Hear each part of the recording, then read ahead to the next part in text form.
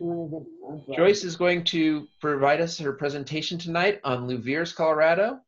And Louviers was dynamite. Take, take it away, Joyce. All right. Well, that this stop? Oh. Okay. Here it comes.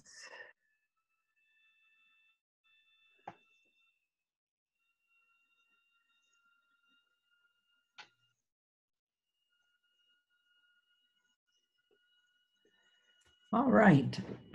Can all of you hear me? I hope. And We can hear you fine. You're good to go. and you got a full screen of Louviers Village Clubhouse here. Still standing, still being used very much. So this is history, but it's also current events.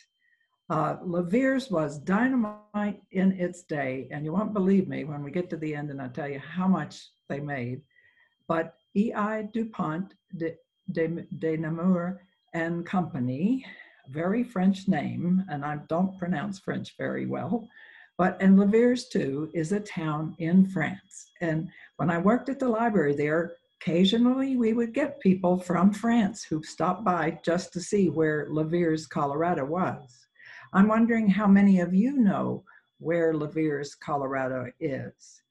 But let's stick to our French history first, because the DuPonts became famous in France for their black powder, and they were the best in all of Europe. And they continued for two or three generations of uh, owners who were making this black powder. And they decided with that third generation, they should go to the Americas to Delaware was where they picked and make their black powder because it was so good and uh, the United States was beginning to build and construction. So away they went to Delaware. But after they got there, the sec- the third generation, um, the first leader died in his 60s, the second in his 50s, and they were running out of people. So they went to the fourth generation. And these three cousins, all DuPonts, became the cousins who made DuPont an American institution. So the fellow in the middle is Alfred DuPont, and he was the first son of a first son of a first son. And if you were kings, of course, that really counted, but uh, the French were still counting things like that at that time. And so when the group that was in Delaware was looking for a leader, they called him in to the board meeting when they uh, to talk to him about what they should do. They were also having another problem. Besides the fact that they were losing their leaders, um, they were losing business for a little bit because this new product had come up. It was called nitro, nitroglycerin and it was in, you made it into dynamite. And it was very good, but it was also very dangerous, and they hadn't started using it yet. So Alfred came to the meeting, listened to what they said, and what they said basically was, we ought to sign up with this company and um, uh, and just let them pay us for everything because they're already doing dynamite and they kind of know what they're doing. But Alfred didn't say that. He said, I think we should keep this in the family. It should stay DuPont. I'm going to call my cousin Colby. His name was Thomas Coleman, but call me Colby. He's in Kentucky and they're doing a lot of business out there. And I want to hear what he has to say and I think he would make a good president of this company. He called Colby, and Colby came and said, Sure, I'll be president of your company, but I want Pierre to become the treasurer. And Pierre had a very interesting history. Um, he got his experience in finance because his father died when Pierre was only 14. And he began taking care of his mother and his nine siblings, and he learned a lot in the process. and was very good with money. So, okay, we now have uh, three members who are going to make this make this a company for and their generation is going to tackle the dynamite. So, where are they going to go? They began, and they did tackle the dynamite, and it was working. And they were uh, in business much sooner than anybody thought they would be. So they started thinking about expanding to the west. Now, if you've been on the Denver, uh, the Durango and Silverton train, you know that they carved it out of solid rock, and that took dynamite. If you've been on the train on the right hand side, the Georgetown Loop, they did something else that was impossible. They uh, took their train up an 8% slope, only they cheated and they went up one side um, at 4%, put a bridge across, and then went up the other side at 4%. So they were uh, in business and could go from Georgetown to Silver Plume on their trains. They were using dynamite. Let me see if I can get my laser pointer going here. Yes. Okay. Up this side, across the bridge, and up the way we go. I'm in business. All right. What else? Where else would use dynamite? The Argo Mill in Idaho Springs um, used dynamite to build a tunnel up to Black Hawk and Central City because that saved those people about 25 miles of uh, distance that they would have to carry their ore in trucks down hills and then back up hills if they could put them through tunnels. So Colorado had a lot going for it in the dynamite front. Even small mines. Boulder County had hundreds, probably maybe even thousands of mining claims. Um, I know about this mine because I know that miner right there personally and it was run by three men. The first one was a lawyer. You need a lawyer so you can get your claim properly documented because the worst thing in the world is to dig a hole, discover gold, and then find out you don't own it. So the lawyer was first. Second was an engineer. So he built this structure here. And he also had a truck. That was another uh, selling point for the engineer. And the dynamite man there is my father in law. Uh, he was in Boulder and he was uh, had a day job as did these other two men. So they just did their mining on the weekends. Um, but uh, he was a dynamite man because he had put himself through college uh, working in the coal mines in the summer. And also sometimes uh, people are really overcome by nitroglycerin fumes and they can't stay in the ground in a hole with a dynamite uh, for very long. But he, it didn't bother him, and he was the dynamite man. So you should uh, think a little, uh, take a second look at some of your accounting professors if you went to CU. you never know what their weekend job is. Big jobs big projects like the Moffat Tunnel were where the most money was spent and the most money was saved. Um, I hope this, yeah, I hope the marker is working here. And this is Eldora. It's a ski, ski slope that is on the eastern side of the Continental Divide. And to get to the western side, at that day and time, they built a railroad. Look at the railroad. Can you imagine riding on this? They actually took the rails off and turned it into a dirt road, and we have driven on this. Here's the eye of the needle, so that's a very small tunnel. And Rollins Pass is up near 12,000 feet.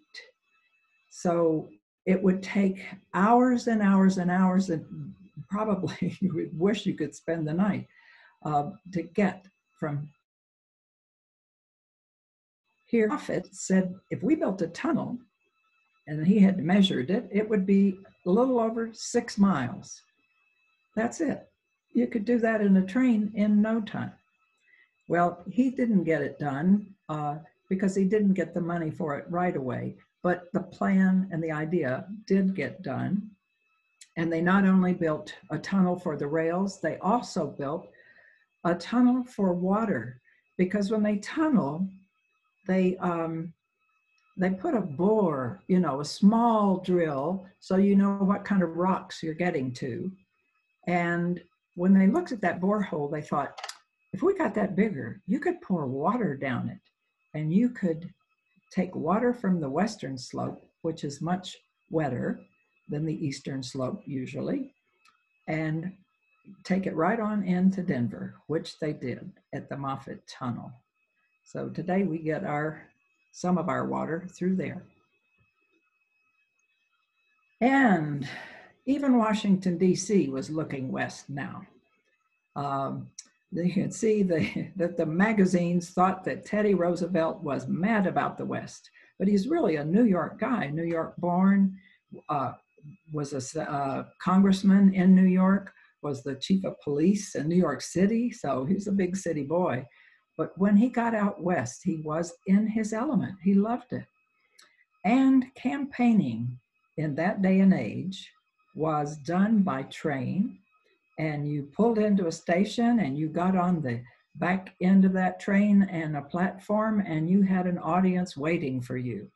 So in 1903, um, Teddy Roosevelt stopped and spoke at Sedalia. And Louviers is very near Sedalia, if you know where Sedalia is. Okay, so let's see where, all right, here we are and you can see right away we're in Highlands Ranch. There's the Highlands Ranch Golf Course, Highlands Ranch, Chatfield. And you just get on Santa Fe and from uh, Windcrest, where I live, and several of the people that I talked with and, uh, for this report live, we just go under C470, down Santa Fe, past the Highline Canal, which goes right through our property too. And then here's Roxborough, but you skip that, skip that, keep going. And here's Louviers. So you all knew that, right? I hope you did. and if you have made that right-hand turn, if you're headed south, uh, to Louviers, you will pass what was the old rail station, you will go across two sets of railroad tracks. So that was one of the things that attracted the DuPonts. It had transportation for their supplies to come to them.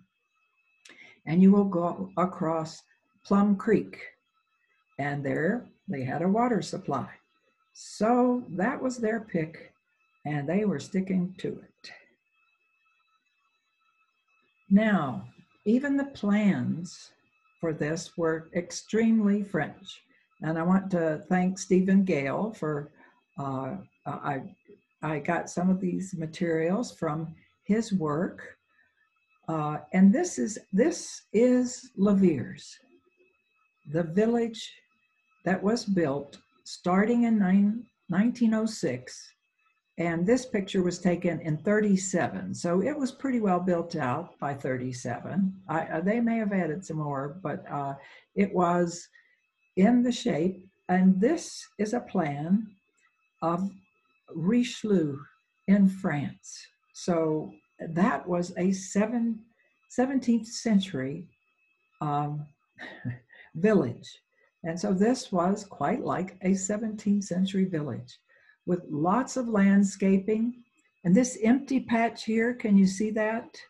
Um, with just little spots. That was a nursery. So they were growing the plants that they were going to continue to, to garden with. And you can see small houses here for the workers, slightly bigger for maybe office workers. Uh, and way over here, and it doesn't in real life, these, this hill is much higher than it looks on this map, uh, on this photo. Um, but the big houses for management, for the superintendent, were here and they could look over the factory, over what they call the plant. and see what was going on, and they could look over town and see what was going on. And this right here was a smokestack because they provided their own electricity for their works, for their plant, and for their residents. Um, in its day, you could spot Louviers by looking for the 200 foot tall smokestack. Today, one way to spot it if you're going south on Santa Fe is to look for the really nice patch of trees, really big, green, lush looking trees that are growing there today. So we're to see what, okay, here's some, one of the, the station. It uh, is no longer a train station, uh, but you can see, you can recognize the building when you go past it. And here are the first houses that were built, the workers' houses. The plan was that first you build the houses, you get your workers there, then you build the plant. So this worker's house was 24 feet by 20 feet, 480 square feet. and I'm wondering how they crammed all these. I hope these were two families, but it looks like the kids, mom, dad, and, and maybe grandma, and the dogs. so workers' houses in a row and a train stations. So they are getting close to being ready to go to work. Um, this is a worker's house today. So this one is uh, was built in 1906, so it's over 100 years old. And it has more solid windows and doors. Um, it was extended, and, and DuPont did this if you go there, you can see when they added on back porches to all the little houses. They added on the back porches and they included running water. How about that? And real bathrooms indoors. So uh, they continued to improve once they got the plant going. Okay. And also, one reason I wanted to show you this is that the hilly countryside or they maybe enhanced that a little bit and made it even taller, provided a berm that went between the houses and the factory. So they would be protected. So they were always thinking about these things, about protection and safety in their um, planning, even when they still were just building the houses. Well, there you have it. Louviers, established 1906. And I think that sign was there in 1906, don't you? Okay, and now we're getting the manager's houses, two stories, um, as, asbestos shingle siding, and DuPont made that.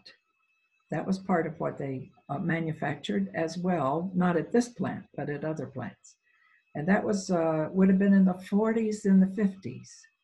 And we had they had three choices. You could have green, you could have white, or you could have kind of an adobe peach color. And, and a much bigger house for managers. So uh, some of these houses have been there 114 years, many of them over 100. So let's take a look at the top of the hill, shall we? Yeah, so if you've been to Louviers, I hope you did, uh, go, you would have to go north once, once you've come into the village and up the hill. And at the top of the hill was this house in black and white. And I was out there just two weeks ago, and it's quite the same, except that they have more deer than I've ever seen before. this time I saw lots of deer. And this was the first house built, and that was the superintendent's house. And look at his car. He already has a car in 1908. Is this that house? I said to myself as I was looking between hedges, and um, yes, it is. If you look at the windows, that window, this window, that window, and the dormer. Yep. So this house, well over 100 years old, is still in good shape and being used. And then also up there on that management hilltop was the doctor's house. So that's another advantage you have of living in a company town. You pay a dollar a month and you get all the care that the doctor could do in his office. And he didn't have to uh, use his house for an office. He had an office right up at the gate and near that was nearer where everybody was. So free medical service. Well, I'm sorry, a dollar a month for your medical service, not free. All right, we got our houses built. Now we're working on the plant. And that's what they call it. It's, it's not, they call it a plant, not a factory. Um, and these pictures show some of the safety measures. And again, this is something that DuPont emphasized again and again.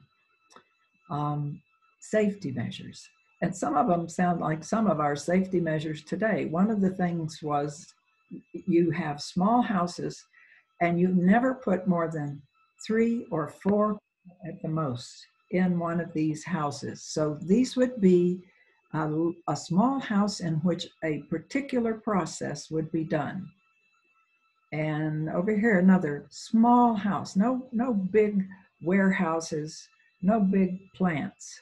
You have small houses where each operation is carefully done so that it, if anything happens, it's just two or three or four people that are going to be caught. So they thought it out in advance. And then they used, there were, it was a little narrow gauge rail line that brought the supplies in on rail, but they didn't take them out on rail. They took them out on trucks. We'll see that later.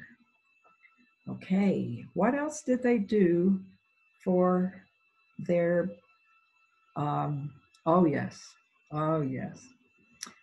What else they did for safety at the plant was something that is a whole lot more trouble than wearing a mask. it was that they did not allow the men into the plant in their street clothes. No way, Jose.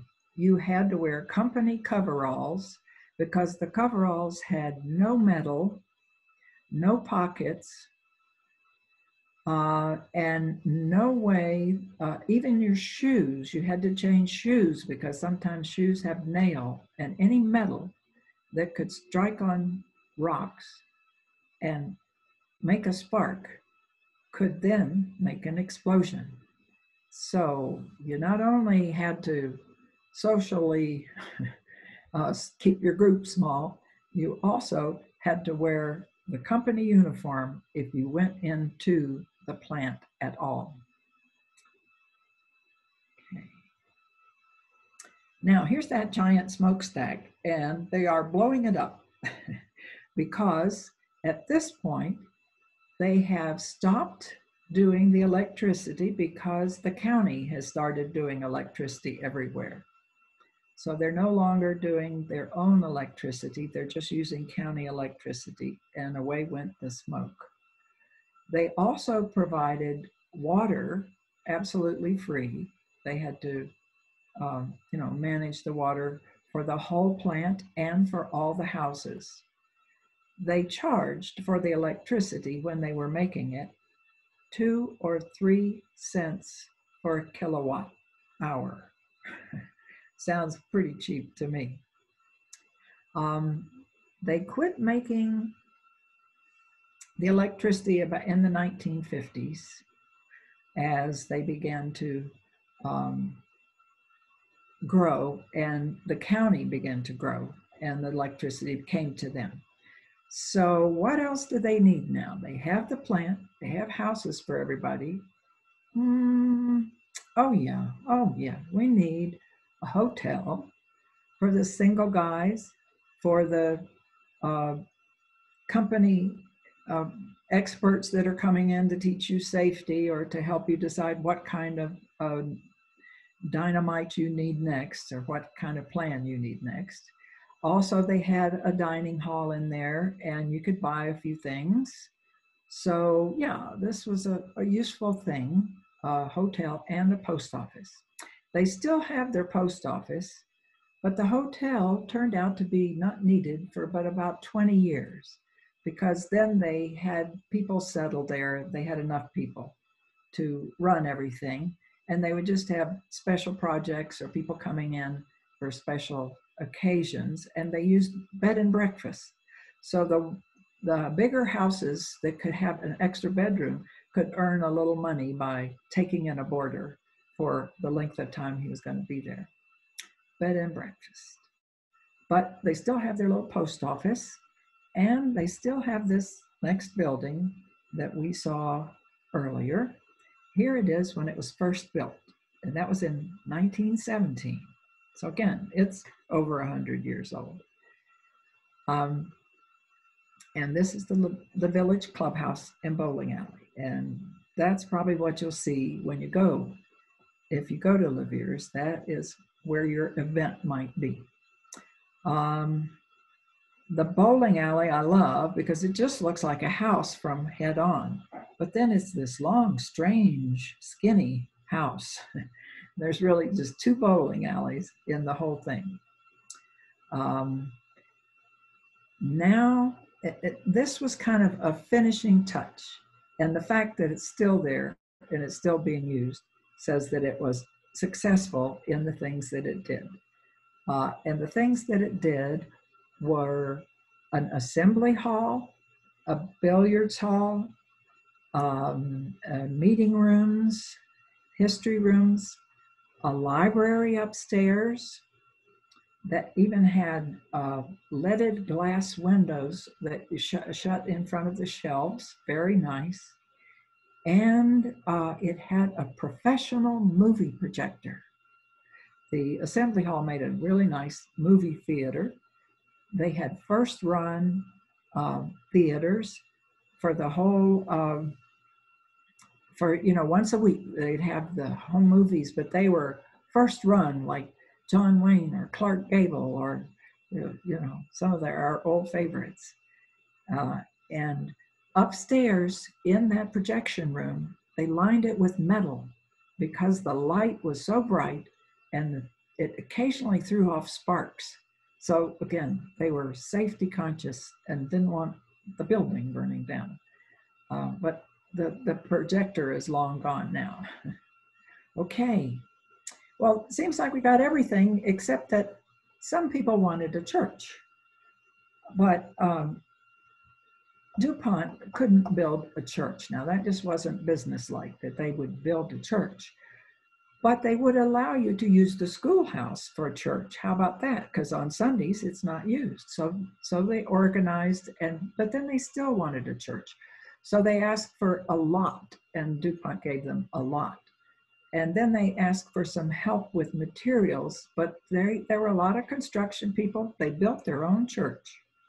And here it is right here with the steeple and the nice church windows and everything. Then the area began to grow, and Sedalia was much bigger than Louviers. And Sedalia had a church. And so some people started going to that church. And in the 40s and 50s, they started getting their own cars. So some people went off to church to whatever denomination they were, and um, they couldn't afford to keep the church up. So rather than let it go to pieces, they sold it to somebody who was going to make a home out of a church. And I've been in it, and it it does make it. You have a very big living room, but it does make a, a home. And yet, that idea of having a church in your community came back again about 20 years after that. And another group got together when a house came up for sale they refitted it to become a church. So now in Louviers, you have a church that became a house and a house that became a church. Well, this is a, a really good time period here. Um, and, and I want you to see the staff. And it shows, what I like about this picture is, it shows you the many different kinds of people it took to run a factory and a community and the business and the offices. So you can see in the picture, you can see suits, you know, ties and white shirt and a jacket. And there's about a half dozen of those. So that would be the admin and the, the superintendents, the guys at the top. And then you see uh, white shirts and ties. And so they were business types, office types, um, but not didn't need a jacket. And then I can see guys in flannel shirts, plaid shirts, and jeans. And so they were probably working outdoors. And I even see five people with, uh, uh, oh, they're well, and I see a bunch of hats on. I'm not sure why they're wearing hats. But um, at, by this time, in the 40s, uh, for one thing, we were getting into war and somehow dynamite fits in that too. And so they were beginning to ramp up to make tons and tons of dynamite. And they were reaching the point where they could make 20 million pounds of dynamite in a month, or two two yeah, millions of pounds of dynamite in a month. So they were really in business, full on. So that their business decision had worked out very well and they were doing great. So let's take a look at two people who lived in Louviers. One of them worked and one of them came as a kid. So on the left is John Stout, and his family moved to Louviers right after World War II. The young lady there is Carolyn uh, Stout, then she would have been, and her twin sister was named Marilyn with an O in it, just like Carolyn. And uh, they were in the sixth grade and their brother Roy was younger. And they had to wait for a house. They couldn't find a house. There, all the houses were taken. Nobody was leaving. And Carolyn said nobody wanted to leave, and they didn't unless they were transferred. So they just had to wait until somebody finally left, and there was a house for them. So they were going to a regular school in West Denver, Eagleton. I'm not familiar with it, but it was a regular sized big elementary school. Then they moved in, and Carolyn went to this school, and her sister Marilyn and Roy. It's a three room school, and there were three teachers. So they had first, second, and third grade, and one teacher and one room they had fourth, fifth, and sixth grade, and Carolyn was in the sixth grade uh, in another room. And there were about 20 of them. There were only 12 of the younger kids. And then they had seventh and eighth graders. And again, there were just 12 of them, but they were three teachers for eight grades. So that was quite a change for her. But um, it, it was it seemed to work very well. She she did fine. After the eighth grade, uh, the students would have to go to Castle Rock High School. So um, something happened in 1962, and I'll talk about it a little later. And the three uh, room schoolhouse was closed, and from then on, all the Louviers Elementary students uh, went to Sedalia, to the Sedalia Elementary School. Okay. Well, Carolyn's family finally got a house right there, and this was the view right, right across from the clubhouse. And so she just thought it was marvelous because they had all kinds of things. I already told you about the movies once a week. They had bingo with prizes. They had a Christmas party. They probably had a party for practically every season. They had card games. They had adult parties and that kids weren't allowed to come to. And they had dances that were for everyone. The rent for her house for their first house was probably $20 a month. The smallest houses were $11.50 a month. And the manager's two story house was $30 a month. So, uh, but Carolyn's favorite thing was the bowling alley. And um, they, you had to be a certain age before you could play and the children would get paid 10 cents a pin for setting the pins up in the bowling alley. I hope some of you have seen the bowling alley. You have to catch it. It's only open uh, when they have an event and they have people to, to man the, to put the pins up and to uh, just take care of it. But I think, I wonder if you can rent it. I wouldn't, I don't know. I'd have to find out about that. And there were bowling teams and uh, they the men's team bowled at night and the women's team bowled in the afternoon and the kids had to be a certain age before they were allowed to bowl so here's the last uh, the seventh and eighth grade the bigger kids in the at the last years of the uh, the little schoolhouse and then carolyn went off to the university of denver and when she got there, she had a job and she was going to school. And she met Pete Calamine, who worked for the Research Institution in Electromagnetic Propagation Division.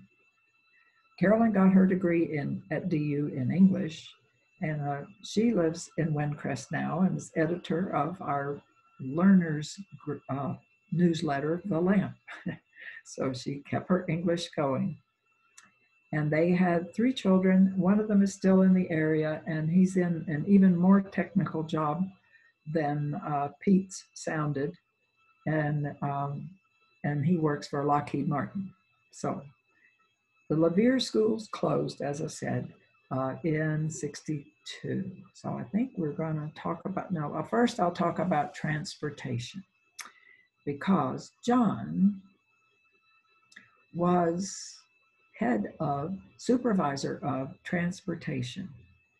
Now, if there's anything that I think could uh, be harder to do safely than make dynamite, it would be deliver dynamite in trucks. But uh, the boxes were sturdy.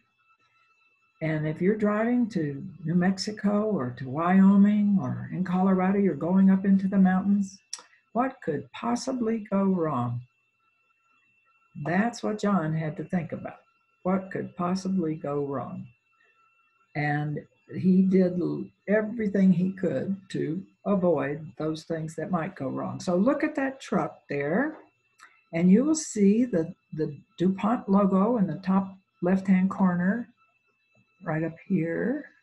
And then in big capital letters, probably bright yellow, explosives. If you, if you missed it, it's on the front here again, explosives. So at least people had their warning. They knew what they were dealing with. Another preventive measure he took was to make sure they always had two drivers. And there were a couple of advantages to that. The trucks could keep moving all the time. They didn't ever have to spend the night. You really don't want to park a truck full of dynamite out in front of a motel and leave it alone at night.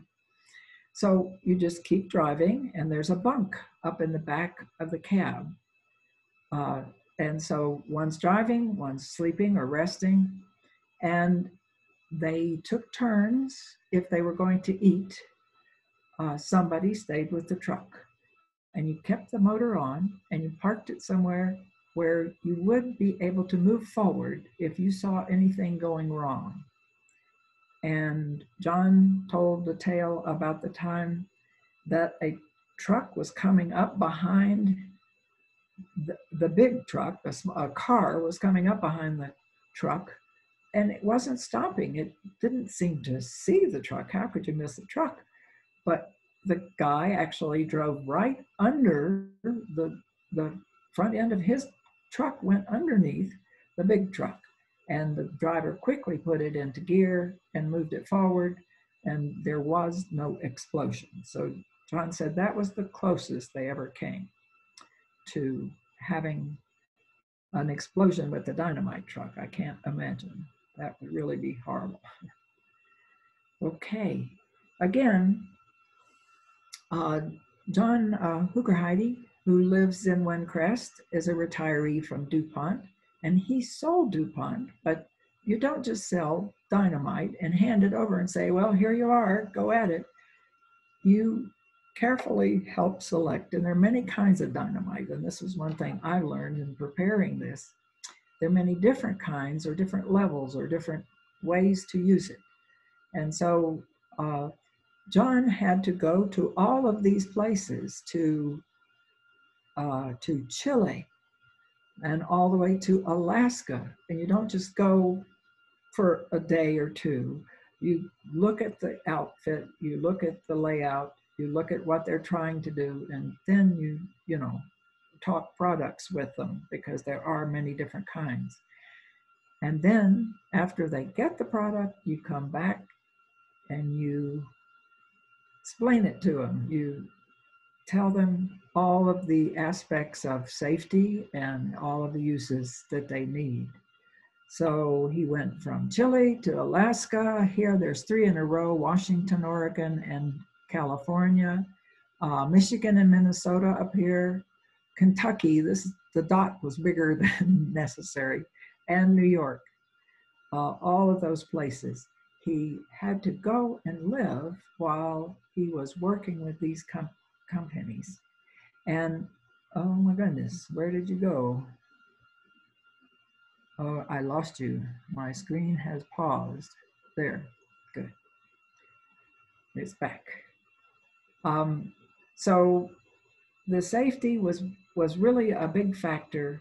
And John said he thought the DuPont factory did an excellent job on their safety. Um, and, and he never actually, you know, worked at it, but just knew about it. did there. Okay. Hmm.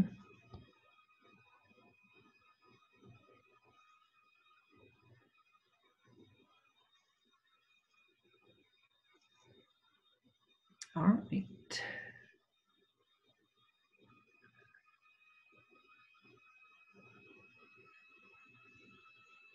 Okay.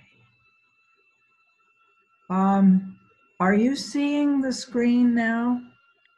We're seeing it yeah. uh, in your browser, in the browsing view, not the full screen view. Okay. Um, I'm okay. Let's me get it to the full screen view. Sorry, I don't know what happened there. Well, come on, slideshow.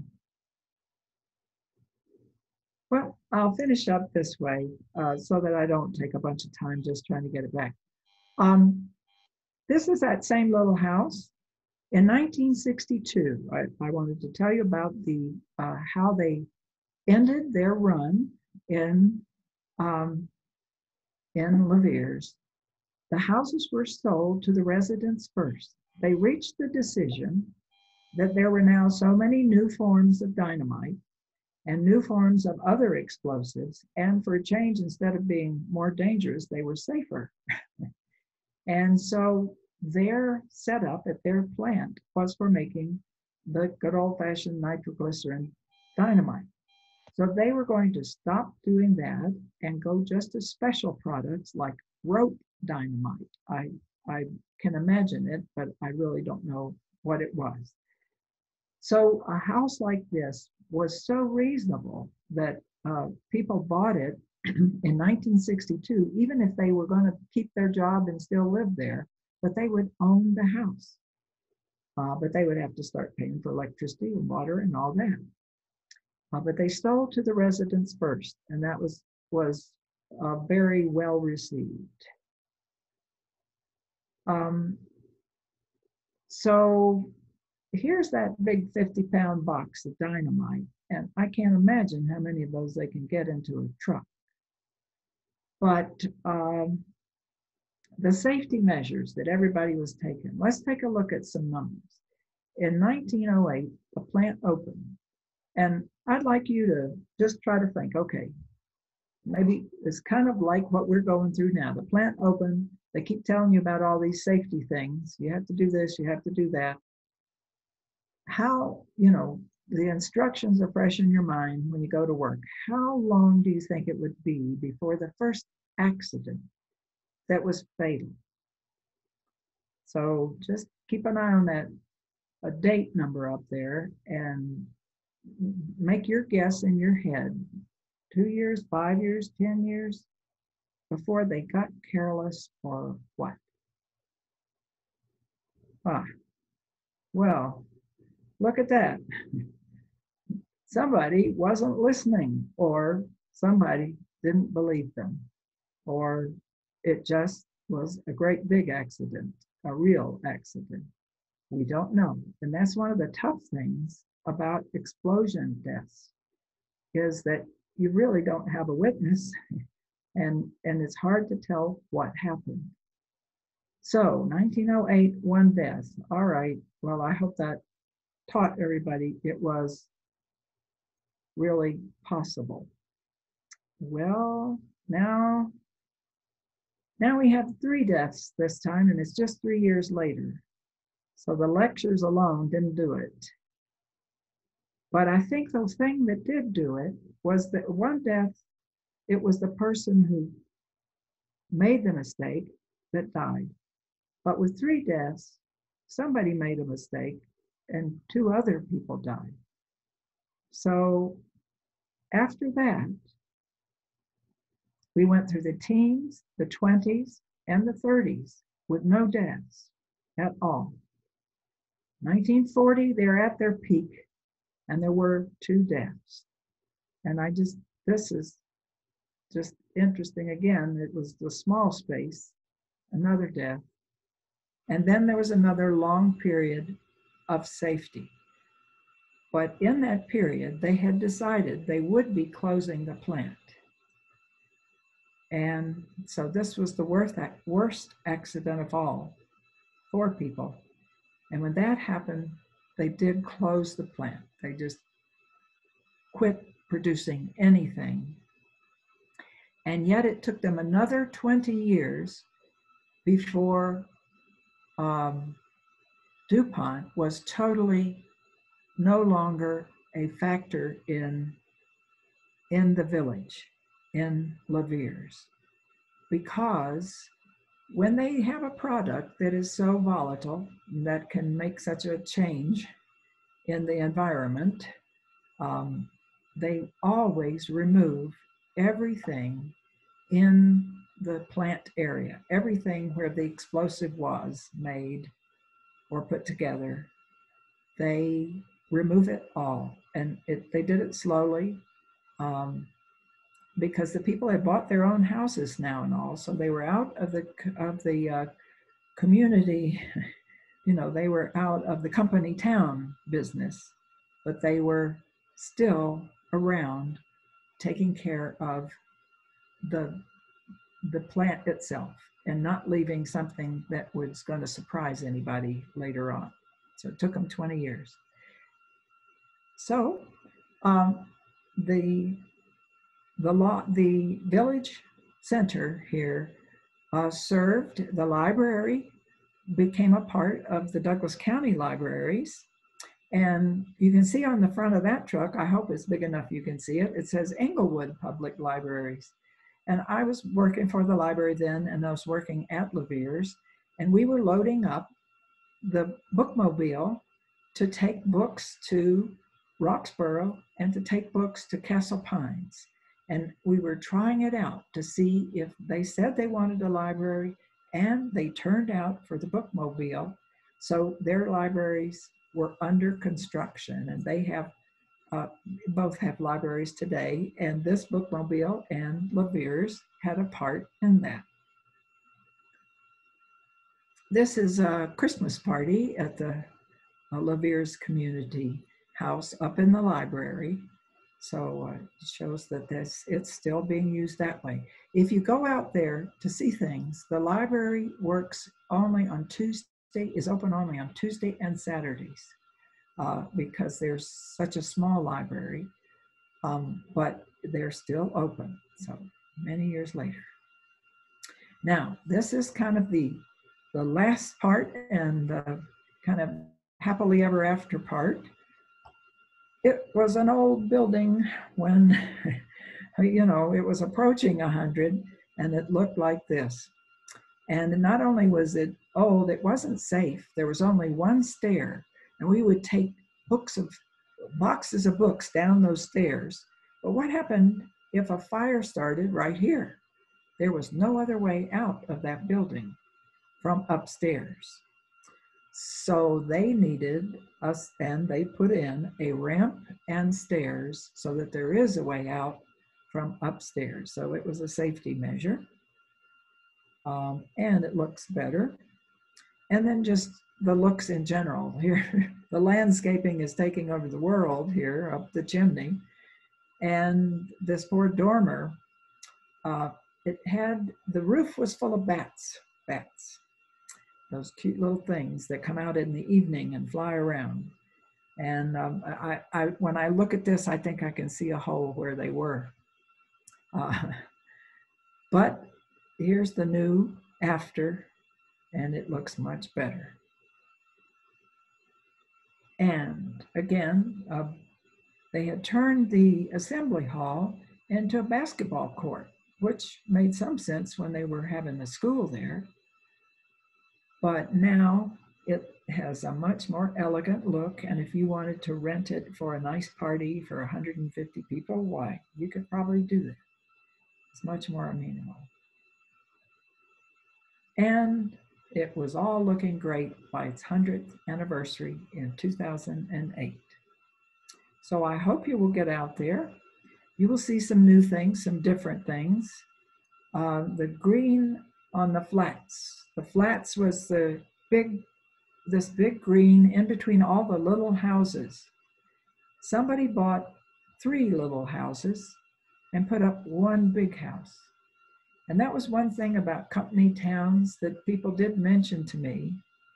Um, you know, like when they were kids, they didn't know. They played down on the green, they didn't even think about it. But as they got bigger, they realized oh, those houses are much nicer than my house. But when they're playing on the green, they're still a community. And so, yeah, there were different sized houses and different levels of occupations, but they were a community. But now they're a community with more big houses, and there's another one. So let me leave you with three giant things, records that were set by Louviers so that you can prove that you know something about it tomorrow or the next day. Uh, so the Louviers dynamite plant was the longest operating DuPont dynamite plant anywhere in the USA. So that was from 1908 when it started operations and 1971 when it finished, when it blew up. It was the biggest industry in Douglas County at its time, and it produced a billion, not a million, not a hundred million, a thousand million, a billion pounds of dynamite. And I want to thank all the, the many people who helped me Sarah and Kent and Mark and Stephen and Carolyn and Bev and Marlene and John, who all told me about Louviers and helped me decide about things or inform me. So I hope you get there. I hope you get to see it. And I was reminded by uh, Joanne and, and, and Bob that uh, the walking tour was just great. We had them when I was out there, but I guess they don't have them anymore. But it's a fun place to take a Sunday drive. So, question. Thank you very much, Joyce. So yeah, if anyone has questions, please feel free to unmute yourself and ask your question, and Joyce will try to answer them. Should I leave this up or should I take it down? I'm not sure. I'll put a separate screen up here in just a second. Okay, all right. Then, yeah, Hi, Joyce. Thank you so much for your presentation. Can you hear me? Yes, yes. Okay. I'm a new Coloradan. And I moved from Hawaii last year, so I'm not familiar with your, um, you know, your history and any designation of buildings, old buildings. But um, have any, or is the whole town or some of the buildings designated um, as uh, historic landmarks? Yes, uh, in fact, I did the landmark on the uh, clubhouse uh, back before 2008. They were trying to get it done by its 100th anniversary. So yes, it does have historic significance and recognition. The entire town of Louviers is actually, uh, Douglas County is trying to keep that as a historic town itself, that it is in the master plan for Douglas County to keep Louviers historic. I don't know about that. I mean, that's, I suppose. It was when I was on the Historic Preservation Board. That was one of the things that we always talked about. Great. Yeah, I mean, that's one reason you do a landmark is to, you know, acknowledge it and then, yeah, hopefully it will stay that way. Yeah. Joyce, Yes. thanks for this uh, talk and everything. Um, I I used to have a, a my background's civil engineering, and we had a job to do in Louviers one time dealing with a, court, a, a company called Molycorp. Okay. And they pro- they processed molybdenum ore from Questa mine in New Mexico, and they brought it up here to process it. Do you have any information on that? Was in the 70s and 80s when that okay, happened. No, no, I that's one of my weak areas is the uh, you know exactly there. what I learned is there are many different uh, processes and many different uh, uh, forms of explosives, and I don't know if that would have been an explosive, but. Uh, well, yeah, I mean, to get the ore, they had to use explosives, and I imagine that was one reason why uh, DuPont might have had a role in processing. Right. That. Okay. Maybe it was that. Yeah. No.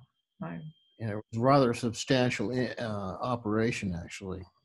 Okay, that's yeah. The the the people who work with it have have said that to me, sort of the way you said it uh, then. It, it was a, a big operation and well done. Yeah. Yeah. Uh, Joyce, a couple of questions. Hi, Ed. uh, how are you doing? Do you have any feel for what the uh, peak working population and the total population may have been up there? I I avoided the uh, numbers because I was having trouble finding for sure. But um, like I saw the population for it at one point was, well, the city itself has never had more than I think 400 and something people in it. And I, I'm not sure about the plant. So I really didn't try to speculate on that because I, I didn't find the figures, but I could, you know, like counting and there were 100 and something, and I'm pretty sure there were at least 140 people working there at one time. And so probably around 400 living there, but those are guesses. I did look at the census, uh, and it's smaller now than it was at its peak, of course. Okay, my second question is, uh, in your picture, you showed all men, uh, working men. Were any women ever allowed to work at the plant? I don't think so. I don't know any that did. I do know that the women did the fire brigade. they were the firefighters during the day if a fire broke out because the guys were all in the plant. but uh, they even had a women's, they didn't even let them bowl together. I don't know. so there are a lot of pictures in the uh, Denver Public Library's collection of the Rocky Mountain News about DuPont, and I recall one. I did the uh, landscape component, so that was wasn't really my topic. But I recall one particular with two women dressed as housewives holding sticks of dynamite in their hands and professing how safe they were uh, via the DuPont manufacturing process. Oh. As long as they're new dynamite sticks. oh, so the old dynamite Things are not so safe. Okay, we get more volatile, do we? As we get older. Okay. Joyce, I have a couple questions. This Okay. is Diane. Um, I think you said in 1962, they started selling the homes, uh, and the res, the residents, the workers had the first choice. But is that when then others started coming into the community, even though they were not, they might not have been part of the, working at the plant? Yes, precisely. And there was that uh, nursery area um, that was just land, and that was sold, and people could come in and build the house that they wanted on the property. And a few of them said, you know, people said, well, that's modern, it doesn't fit. and, uh, you know, but the, but there weren't any um, landmarks done at that point, so it, it fit and these other big houses they they're not at all like you know they they don't have that same feel Right. original houses but there doesn't seem to be any rules against it Was there a grocery store in the area? um that i wasn't even sure when the hotel i'm not even sure if the hotel had a grocery store um i i don't know of one Well, it's close enough to Littleton that um, that might have been where they're where they got their groceries and stuff. well and it's uh you know it's not that far from castle rock either um Yeah, yeah. Yeah, in Sedalia. So, um, but, but there weren't grocery stores like that were, you know, um, uh, brand name grocery stores. Uh, there might have been just a sales area and I, and I Do you know- Do, you- do you know how large the community is now? It's about, uh, three hundred now. Okay. Yeah, It's, that would be, you know, and, and growing actually. So. Joyce, do you know if it was a true uh, company town? Did the workers have to live there or could they live other places? they could live other places because like carolyn's you know they had to live in denver and commute on the train Mm, um, to uh, get to well they went to school in denver but dad had to ride the train to work uh, so um, i don't think they had to and a lot of people there is a lot of crossover between sedalia and uh, Louviers. there would be you know um, people who lived in Sedalia would work in Louviers. So I don't think it was a rule.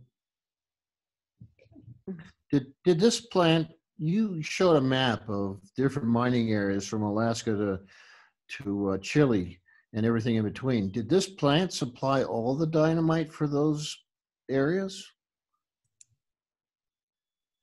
Ah, Do you know?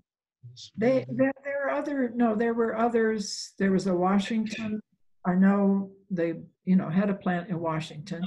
And, and I know Delaware went to work making dynamite too. They, uh, um, DuPont had plants throughout the Midwest. They had one in Arizona, Yeah. in Iowa, in um, Michigan, and uh, in Montana too for the copper op- copper operations. In addition to the one in Washington. yeah. Mm. So, I mean, a billion's a lot of dynamite, but But still, that's not a- nowhere near enough compared to the excavation. I mean, you see these open pits in Utah and in, in yeah, Helena, Montana. I mean, that's a huge, huge amount of dynamite. Yeah. Yeah. Hey, Joy. hi. So, how come so many people decided to um, move to like go to the Sedalia Church instead of the Louviers Church? Well, I I don't know. I mean, you know, uh, uh, that kind of history doesn't usually get written down. but um, the preacher was a Presbyterian, and the church that opened in Sedalia was Presbyterian. So that might have been a pull. And then people had cars, and I think they just um, were free to go wherever they wanted. When they had to walk, you know, then they really wanted a church right there. But uh, once in the 40s and 50s, when cars were something that a normal working person could. use. I think that was more it, Uh, but I don't know, it could have been a big fight or could, I don't know. For sure. Okay, thank you. Joyce, today uh, is, is uh, Louviers a municipality or is it unincorporated Douglas County? I should know that, but I'd have to look at my landmark to tell you, but it's a village. I think that's the, the, the Village Clubhouse. I think the village is, is the best description of it. But that might not be the legal description. So it may have its own form of government then. Yeah, they do have to do like their own water, I know, when they, when, you know, when they lost all the support that DuPont was doing for the community. One of the things they had to pick up was the water. The phone company um, uh, went, uh, you know, uh, uh, Denver and Castle Rock used to be long distance and because it was just the company phone. So, but then it went public kind of on most things. Yeah, just like everybody else. They went with the phone company or they went with the electric company. What, what influence did the railroads have on this town? I know they go Well, I- through, there's two lines, but did the railroad companies have anything to do with this town? Um, they brought supplies in. They, they used trucks to take the dynamite where they wanted it to go because the places were, didn't always have rails. Um, and they didn't want other people handling their dynamite, you know. Um, but the supplies that came in as, as chemicals came in by rail. The rails haven't changed. I mean, there were two rails there when they arrived and there's still two rails there. So I, I think it was a resource that they needed and wanted, and it was there. And um, it probably helped the rails, you know, to, to have yet another customer. But it was something they looked for and they got before they selected. Joyce, can you tell me about the Denver Polo Club building that's there now? What, The Denver Polo Club building? No, I haven't been there. Uh, I went out to take a look and everything, but I don't know about the Denver Polo Club building. It's- It's been like uh, eight or 10 years. No, it's been 10 years since I've worked there, so not up on the latest. Hmm. Polo Club, that sounds interesting.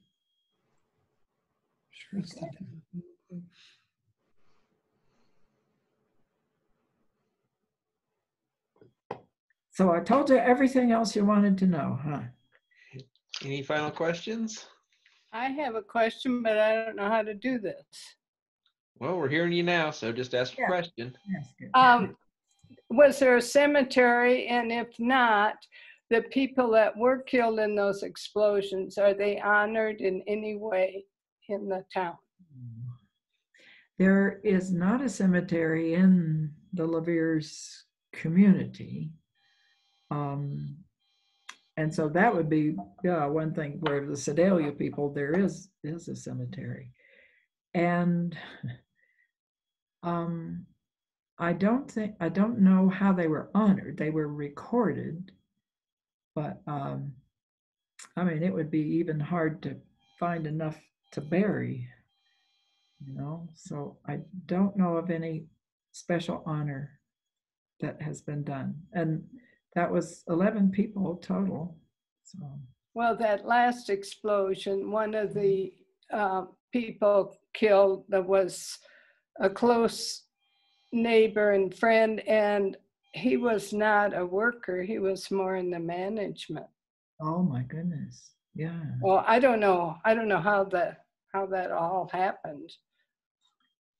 Yeah i and that's the kind of the tragedy or the sad side of an explosion is everything is blown up the building people you know you, there's no way to tell what happened yeah but 80 years of, oper- 80 years of operations and only 11 people got killed.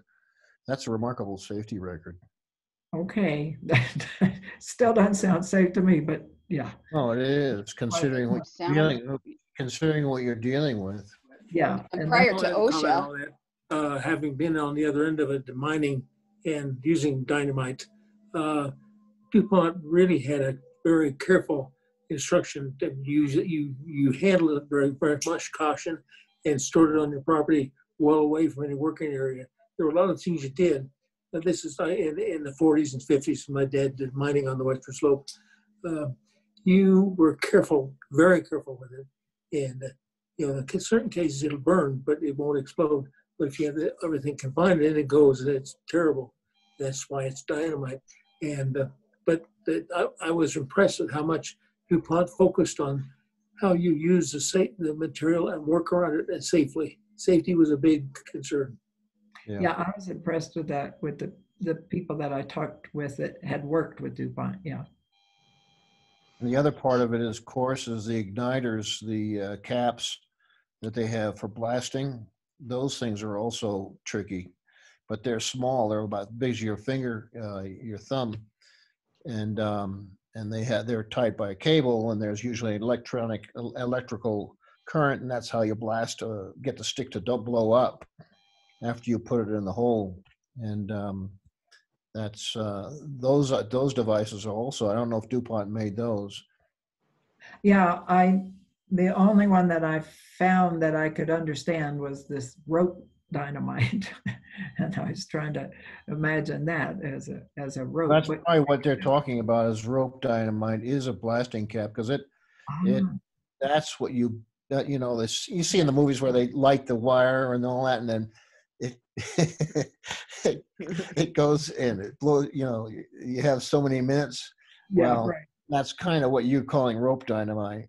Okay, but uh it was but in the modern now what they do is they have an actual current of electricity and and that sparks the dynamite and or if it's dynamite that they're using sometimes they use ammonium nitrate and oil and uh, other means of blowing up things and those things also are sensitive to temperature change okay. that's what it, that's what causes it to blow up Ammonium nitrate fuel oil actually is a much, has much more power, explosive power. Uh, and it's almost used commonly in, in mining industry now today. Uh, Yeah. But uh, it was scary times. We had in our mine in uh, western Colorado, uh, we had one event where we, we, we used the old caps and lighted fuse to set it off. And dad would go down the hole and finish drilling and so forth, and set the sticks down the hole and light the fuse and ran like crazy to get to a safe spot. One day, one day, uh, it didn't go off. We waited, we waited Go back in. almost an hour and he says, I don't think it's gonna go off, let's go home. So we left the site, went home, and then he and one of the guys that goes with him to to this mine the next, uh, next week, when I'm, and, uh, took an extra stick I, when they discovered that the fuse had gone out, that the cap, the fuse had fallen out of the cap. So he got another stick of dynamite, laid it on that stuff in there and, uh, lit the fuse and ran like crazy again. This time when it went off, because it was about twice the amount of dynamite went off, it, it, it went off and he discovered quickly he had not gotten far enough and it's, there, he says, Mary, rocks are falling all right and big rocks and so forth. Oh, Fortunately, nobody got hit, but it was kind of scary. That Yeah. was kind of getting close to the end of his mining career. Yeah. Okay. discover why the DuPonts chose, chose the name Louviers for what was originally called Toluca, you may know, is a train stop at that location. Yeah. I know the Louviers in uh, Delaware is named after the city of Louviers in France because the DuPonts wanted to establish a wool mill there, a woolen mill. And they, uh, that did, that business did not succeed, but they have kept the name of Louviers, Delaware for that section across from their original. But I've tried to discover why they chose the name Louviers for their Colorado plant. They also used the name Louviers in their Washington plant. The main boulevard in the Washington State plant is called Louviers Boulevard.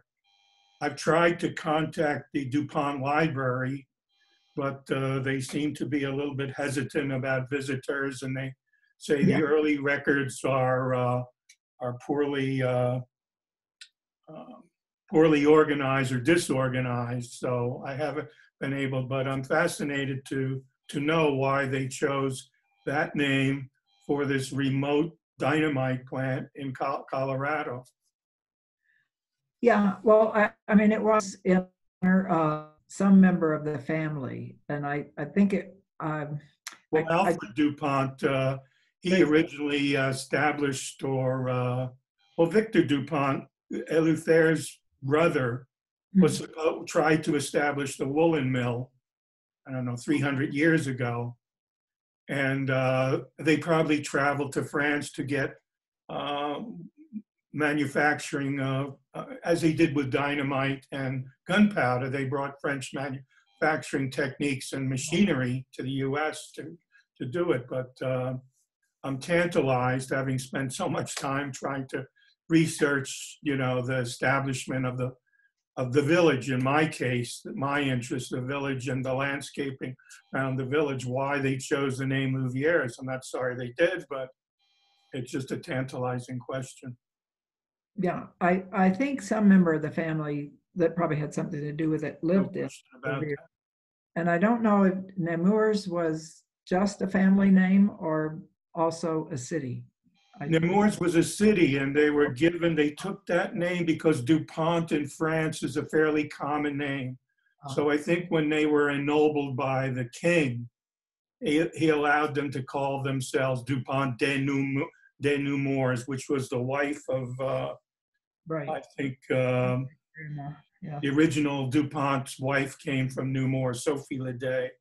So they Okay. used, that's, they added that to their name to So ennoble their name. okay, okay. Yeah, I, I didn't have that one down solid enough to talk about it. Well, they, there's so much, uh, there's so much, uh, what would you call it, amorphous history of the DuPont family that uh, it's hard to track everything down. Some of it's poorly recorded. So, Yeah, well, and I appreciate it. but I'm happy they chose that name because I think it's a really scenic site. I mean, for Colorado to be able to drive on Santa Fe on your way to, from, to or from Castle Rock and you see these, you see across this, this grove of huge trees over there and you have to wonder, well, what is this? Why did this happen? It's a, I think it's a, an amenity to Douglas County in Colorado, really, in my opinion. I agree. Yeah. Hmm. Okay. Well, thank you, Joyce, and thank you everyone for all those wonderful questions and comments tonight. So I think at this point, we'll wrap it up and we'll look forward to seeing you all. I did see the participant number hit at least 127 at one point. So thank you all for showing up tonight. And uh, we look forward to our members coming to the December program and coming up in the future. We will uh, have more programs starting next year again. So Thank you. Thank see you in. January. Thank you. Okay. Thank you. Thank you Thank you, very Joy. much. You are all welcome. I enjoyed it. Enjoyed it. I learned a lot myself getting ready for it.